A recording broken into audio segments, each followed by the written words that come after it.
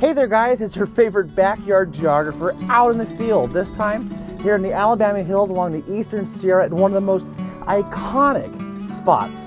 This is Mobius Arch. And what makes this place fascinating? Well, not just the arch itself that I'll talk about in a moment, but the fact that it's a window to the tallest point in the contiguous U.S., Mount Whitney.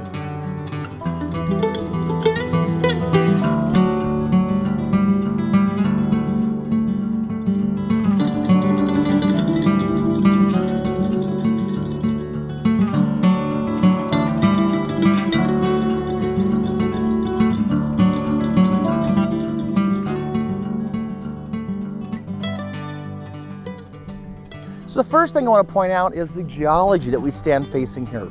So these are the Alabama Hills. They're on the order of 82 to 85 million years old. And what's unique about this is the biotite monzonite granite. It's kind of fun to say, biotite monzonite granite. Now what's key about this is the grain size.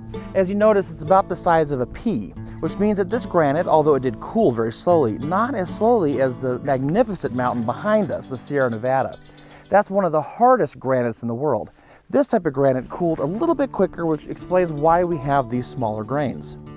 And so some of the minerals that we do see in these rocks, we see quartz, feldspar, and of course, biotite. The Next thing I want to talk about is the shape. So this arch is unique.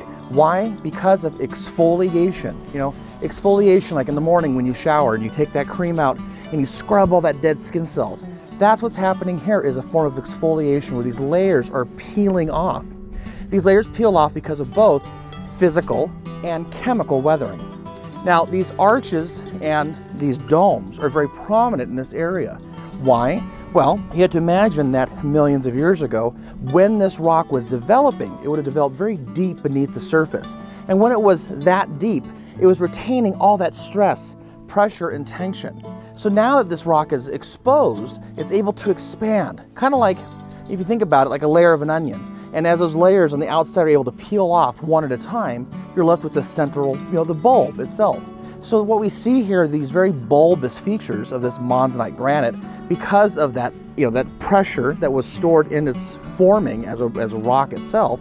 And then as the physical and chemical weathering allow those layers to pop off and peel off, we get left with these really incredible arches and domes.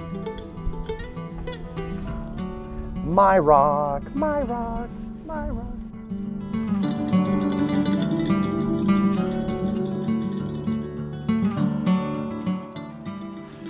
Hey guys, ow, this granite's very sharp. Check it out. Mobius Arch isn't just the only arch out here. There's over a hundred different arches of different sizes found throughout the Alabama Hills.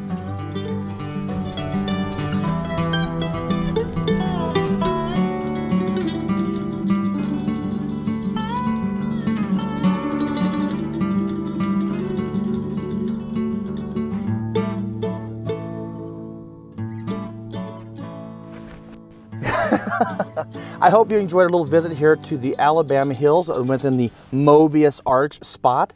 I hope that you get an opportunity to drive out here.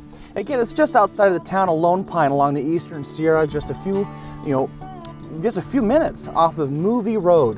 One of those iconic postcard spots. Again, you get to see the incredible Alabama Hills as well as the mighty Sierra Nevada and our tallest point, Mount Whitney. At how many feet? 14,508 feet in elevation. Again, hope you enjoyed. Don't forget to like, subscribe. We'll talk soon.